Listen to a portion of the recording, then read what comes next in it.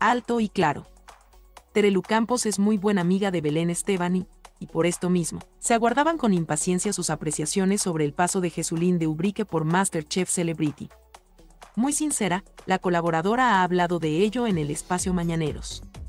Partió recordando su propia trayectoria por el ciclo gastronómico y confesó que el concurso es más arduo de lo que parece en TV.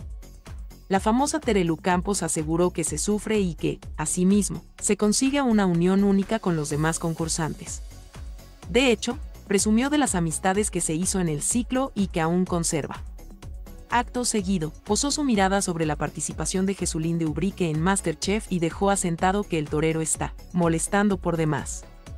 Como concursante no puede estar dando más por saco, lanzó. No obstante, reconoció que, pese a su actitud, el diestro ha logrado entablar buenas migas con los demás participantes. De hecho, este fin de semana agasajó a muchos de ellos en su finca Ambiciones.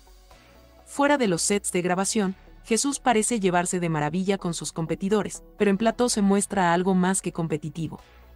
De ahí la severa opinión de Terelu Campos sobre el paso del esposo de María José Campanario por el dialeti culinario. Esta no es la primera vez que Terelu Campos critica en público al ex de Belén.